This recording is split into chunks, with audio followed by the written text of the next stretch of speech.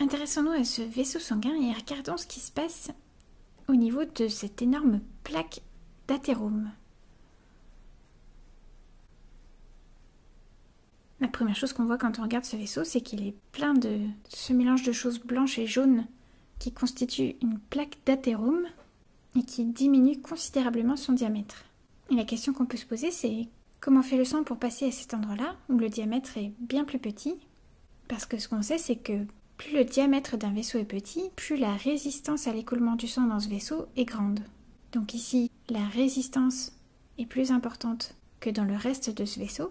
La première conséquence de ça, c'est que le cœur, qui doit faire face à cette résistance, pompe plus fort le sang et que la pression en amont de cet obstacle augmente. Parce que pour un même débit de sang, si on note avec la lettre Q le débit et R la résistance, on sait que la variation de pression entre le début et la fin de la circulation systémique est égale au produit du débit par la résistance. Donc si la résistance est plus grande, par exemple à cet endroit-là, pour un même débit, la pression va être plus élevée. La pression du sang qui arrive par là. Donc disons que en l'absence de cet obstacle, on aurait une pression artérielle moyenne ici d'à peu près 90 mm de mercure. Eh bien à cause de cet obstacle, on aura plutôt disons 110 mm de mercure.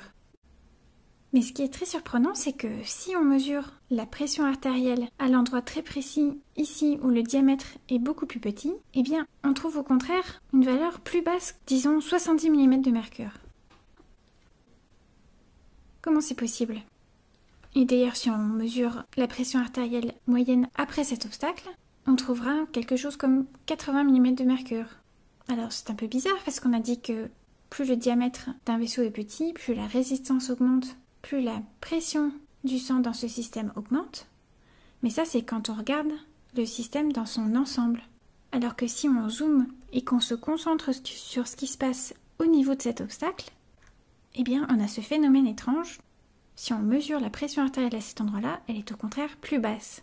En fait, c'est quelque chose qui s'explique si on fait un peu de physique si on réfléchit à la façon dont s'écoule un fluide, et quelqu'un qui a beaucoup travaillé sur cette question, c'est un mathématicien suisse qui s'appelait Bernoulli.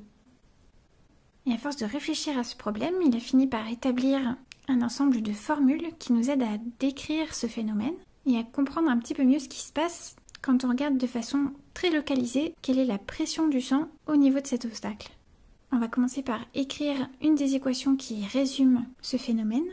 C'est une équation qui s'intéresse à l'énergie totale du fluide qui circule dans un tube, n'importe quel tube, mais ce tube peut être un vaisseau sanguin, et qui dit que l'énergie totale de ce fluide est égale d'une part à la pression de ce fluide, à laquelle il faut rajouter son énergie cinétique et son énergie potentielle. Ici, on reconnaît bien la formule de l'énergie cinétique avec petit m la masse et petit v la vitesse du fluide qu'on rapporte au volume de ce fluide, avec un grand V. Et ici, on a la formule de l'énergie potentielle. L'énergie potentielle, c'est ce qui a à voir avec la force de gravité et la hauteur. Donc le G dans cette partie de la formule, c'est ce qui représente la gravité, et H, c'est la hauteur du fluide. Tout ça, à nouveau rapporté à un certain volume du fluide. L'énergie potentielle, si on y réfléchit, ce que ça représente, ça veut dire que, par exemple, si on compare un échantillon de sang qui se trouve au niveau de la tête par rapport à un échantillon de sang qui se trouve au niveau du pied, eh bien, il y a plus d'énergie potentielle si on est debout sur la terre, dans le sang qui se trouve au niveau de la tête par rapport à nos pieds, simplement du fait de la hauteur et de la force de gravité. Bon, ce qui va nous simplifier cette équation, c'est que dans l'exemple qu'on a choisi, on a dessiné ce vaisseau à l'horizontale, donc on n'a pas de variation de hauteur du sang entre le début et la fin de notre exemple. Donc dans cette situation où on a un vaisseau sanguin d'une hauteur constante avec au milieu un obstacle à franchir, on peut simplifier cette équation en disant que l'énergie totale du fluide, l'énergie totale du sang dans ce vaisseau, disons qu'elle ne change pas entre le début et la fin du vaisseau, disons qu'elle est constante dans ce vaisseau sanguin, on va négliger par exemple les frottements contre les parois, eh bien on se retrouve avec une équation qui nous dit que cette énergie est égale à la somme de la pression du sang et de son énergie cinétique rapportée à un certain volume de sang. Bon, cette équation peut paraître un peu compliquée, mais l'important c'est de se souvenir d'une application concrète de cette équation. Si on compare ce qui se passe à ce niveau-là, on va appeler ça le point A, par rapport à ce qui se passe au niveau du point B, eh bien l'énergie totale du sang est la même entre le point A et le point B. On peut donc écrire l'énergie totale en A est égale à l'énergie totale en B.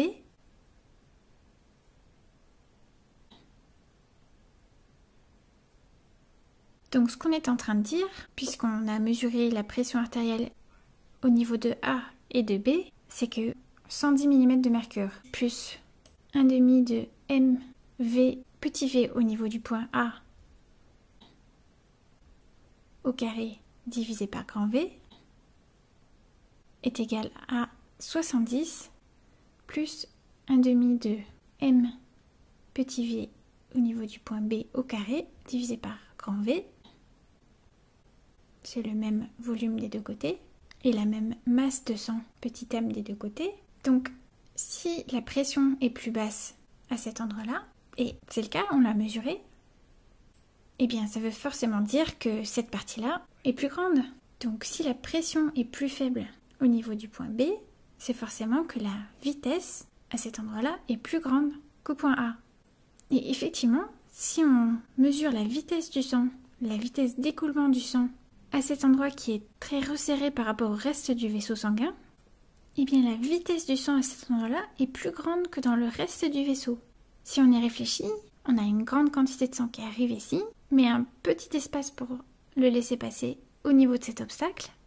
Eh bien ce qui se passe, c'est que quand il franchit cet obstacle, le sang accélère. Donc le sang va plus vite à cet endroit-là et ensuite ralentit à nouveau. Donc quand le sang franchit cet obstacle, sa vitesse augmente. Mais comme son énergie est constante, eh bien, de façon surprenante, sa pression baisse. Mais c'est un phénomène très localisé. Si au niveau de cet obstacle, on avait justement un départ de vaisseau sanguin en direction d'un organe, eh bien ça veut dire que la pression de sang qui assure la perfusion de cet organe serait plus faible et cet organe se trouve alors moins bien perfusé. Donc on voit comment la formation d'un obstacle à l'intérieur d'un vaisseau sanguin a des conséquences non seulement sur la pression qui règne dans l'ensemble du système, parce que le cœur doit faire face à plus de résistance, la pression globale augmente. Mais si on regarde ce qui se passe au niveau de l'obstacle, eh bien c'est le contraire. Parce que le sang accélère au niveau de l'obstacle, la pression se trouve localement plus faible et les organes à ce niveau-là moins bien perfusés.